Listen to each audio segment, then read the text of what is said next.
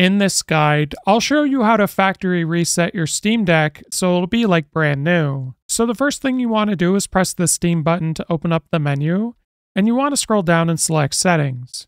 Now once you're in Settings, scroll down to System, and we're going to scroll over, and you want to scroll all the way down to the bottom.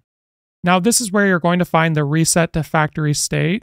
So if you press Y on your Steam Deck, it'll give you more info, and it says resetting your Steam Deck to its factory state will erase all user data and local games.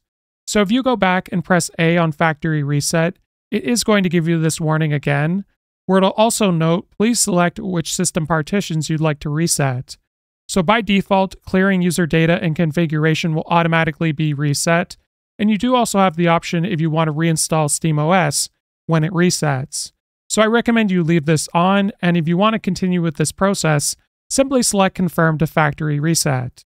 If this guide was helpful, like and subscribe, and we'll see you in the next one.